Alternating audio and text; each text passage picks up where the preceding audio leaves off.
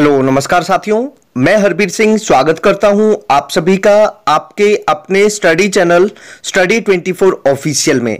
अगर आप इस चैनल पर नए हैं और अगर आपने अभी तक सब्सक्राइब नहीं किया है तो सब्सक्राइब कर लीजिए, साथ में बेल आइकन को भी दबा दीजिए, ताकि टाइम टू टाइम आपको हमारी नोटिफिकेशन सबसे पहले मिलती रहे। अगर आप टीचिंग लाइन से हैं, या देश के किसी भी कोने से टीचिंग लाइन से जुड़ी हुई बड़ी खबरें पाना चाहते हैं तो आज ही आपका अपना हमारा चैनल सब्सक्राइब कर लीजिए। तो फ्रेंड्स आज की इस वीडियो में मैं आपके लिए काफ़ी इंपॉर्टेंट खबर लेकर आया हूँ। ये खबर अच्छी भी है और कुछ एंगल से मुझे गलत भी लगी। हालाँकि जो कोर्ट ने फैसला दिया है, उस फैसले को हम सभी को उसका सम्मान करना चाहिए। अभी क्या खबर है, आप वीडियो के साथ बने रहिए।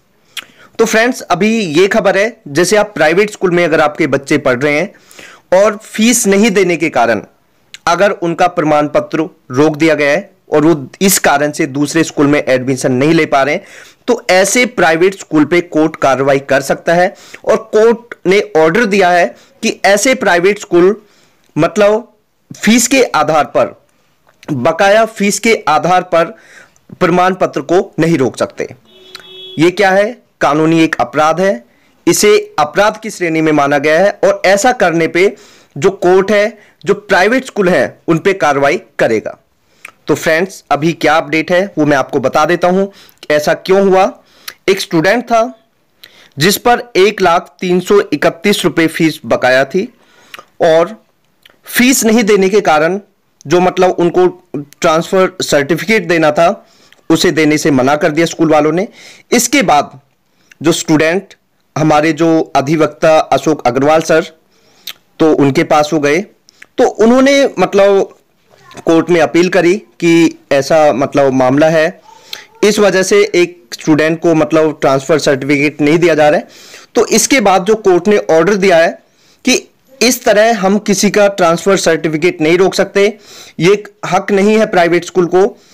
और मतलब प्राइवेट स्कूल को ट्रांसफ़र सर्टिफिकेट देना पड़ेगा। तो अगर आपके बच्चों के साथ भी कहीं ऐसा होता है, बहुत ज़्यादा फ़ीस वसूली जाती है, या मतलब वो इस तरह के और मामले सामने आते हैं आपके सामने तो आप अशोक अग्रवाल सर को कांटेक्ट कर सकते हैं, दिल्ली हाई कोर्ट में है। तो इस तरह के अगर मामले देखने को मिले, हालाँकि देखो साथियों, मैं ये नहीं कहता कि इस चीज़ का आप गलत फ़ायदा उठाएँ, क्योंकि प्राइवेट स्कूल है, उसमें अध्यापक भी हैं, और मतलब उनकी सैलरी भी आपके बच्चों की फ़ीस से जाती है। हालाँकि ऐसा नहीं है, काफ़ी जगह गलत भी होता है। उन अध्यापकों को सिर्फ़ दो तीन हज़ार रुपये ही दिए जाते हैं। तो लेकिन कोई भी चीज़ है तो आप सही ढंग से वो काम करें। अध्यापक हैं, वो भी अपनी सैलरी के लिए लड़ें। अच्छी सैलरी दी जाए आप लोगों को, क्योंकि इसके रिगार्डिंग भी मैं जल्द ही कुछ वीडियोज़ आपको दूँगा। अगर आप हरियाणा से हैं, दिल्ली से हैं तो कितनी सैलरी मिनिमम होनी चाहिए कि अध्यापक की? अगर नहीं होती है तो आप कहाँ पे कंप्लेन कर सकते हैं?